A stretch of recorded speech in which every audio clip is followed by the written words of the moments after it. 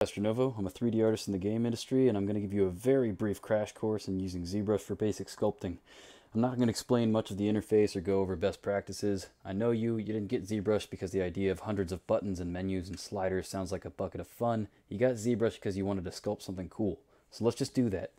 It's time to brush some Z's. When you first open up ZBrush, you're going to get an empty screen. Don't worry if it looks a little bit different than my setup and doesn't have this really weird lumpy guy on it. Let's just make something that we can sculpt on. Easiest way to do that is to go into the lightbox. Just click this lightbox button up here. A bunch of presets will open up. I'm going to just double click on a sphere. It'll ask if you want to save your current project. This guy looks pretty lumpy, so let's throw him away. Okay, we have a sphere. We can already start sculpting. If you click and drag on your object, you'll see some things start happening. You'll notice that things are happening on both sides of the object. If you press X on your keyboard, you can turn symmetry off. Now if you click and drag on your object, you'll see that you're only affecting one side. You can toggle symmetry on and off by pressing X at any time. I'll press X again on my keyboard. It's back on, and I'm sculpting on both sides. This is useful for faces, bodies, anything that goes down the middle and has a split on both sides. I'll hit Control Z to undo all those brush strokes. If I hold Alt instead of just clicking and dragging, I'll carve into my mesh. Without Alt, with Alt. Without Alt, with Alt. Let's undo all that. If you'd like to smooth some areas of your mesh, simply hold Shift and drag. You'll see the lumps are going away.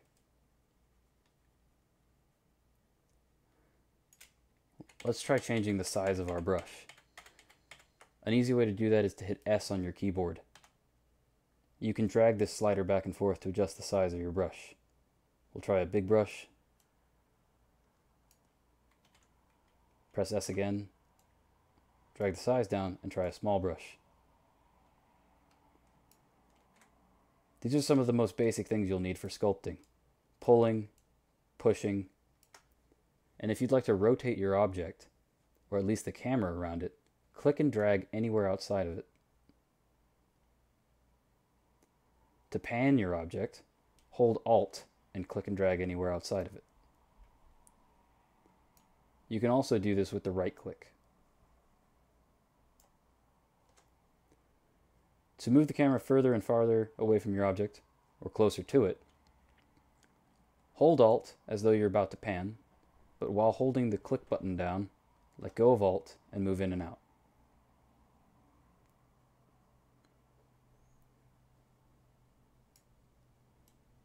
Basic controls for moving around. And basic sculpting. Regular and Alt.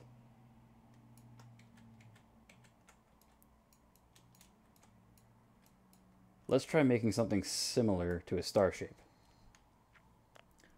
instead of pulling and pulling and pulling, I'm going to use a new brush. I'll press B on my keyboard to pull up the brush menu. I know that I'm looking for a brush called Snake Hook.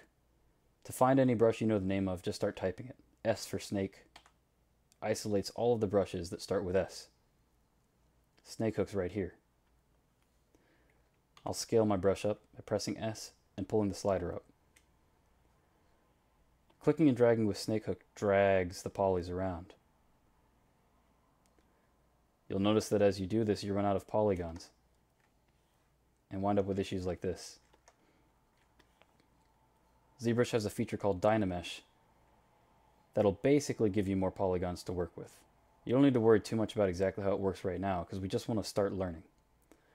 To Dynamesh this object, go to the top of your screen and click on Tool. Inside of Tool, there's a Geometry dropdown. Inside the Geometry dropdown, there's a Dynamesh subpalette. Just click the Dynamesh button, and we'll say no for now. Don't worry about what that stuff means right now. You can figure it out on your own later, or look up other tutorials. What it did do is give us more polygons to work with. So while this looks a little bit uh, jaggy, you can hold Shift, click to smooth, and you'll see it's getting nice and soft again. I'll undo all of this. Let's make a happy star. So using the snake hook brush, by pulling up the brush palette and making sure I have S for snake, finding snake hook, I'm going to pull some shapes out, pull some more shapes out, one more, and we can adjust those.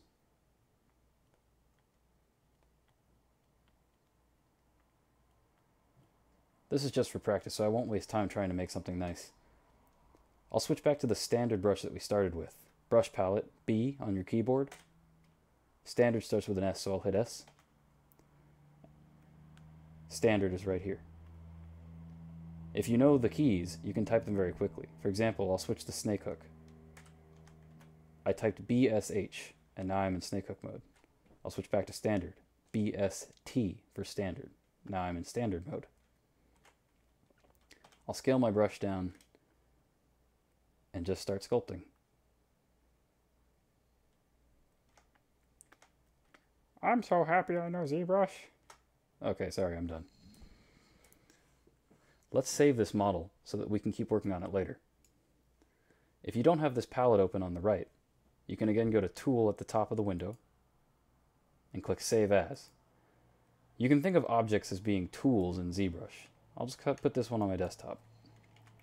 Star guy. And save. Now if I do something crazy, I can go back to the tool palette, load a tool, and I'll open the star that I saved. Back to sculpting.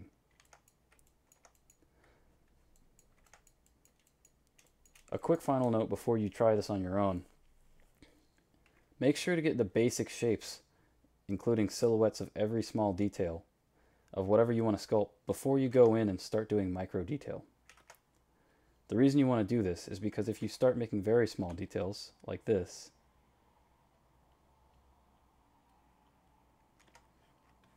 and run out of polygons, you'll be tempted to Dynamesh. Tool, Geometry, Dynamesh. This brings back polygons and lets you keep working. But if you have truly fine detail, maybe like this, a few lines,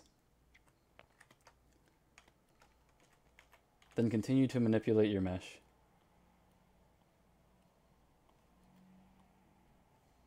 and Dynamesh again.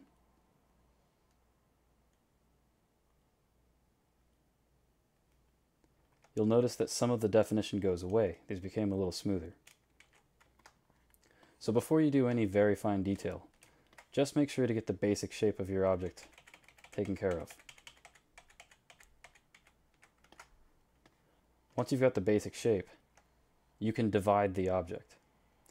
Subdivision works differently than Dynamesh. Dynamesh replaces your entire mesh with a new one that's similar to the one you saw before, but has even polygon distribution. By dividing your mesh, Control D, it subdivides each individual face and will smooth the mesh. You can also move back and forth between high and low subdivisions, either by pressing Shift D to go down and D to go up. Or look inside of the tool menu, geometry, and this SDiv level. You can slide back and forth to select the subdivision level you'd like to work with. Just remember that using Dynamesh will wipe all of your subdivision levels. If I look in my tool palette, there's no more subdivision so I can't go back and forth. This is why it's so important to use Dynamesh before you start doing your detail work, and only to make sure you have enough of a silhouette for your entire object.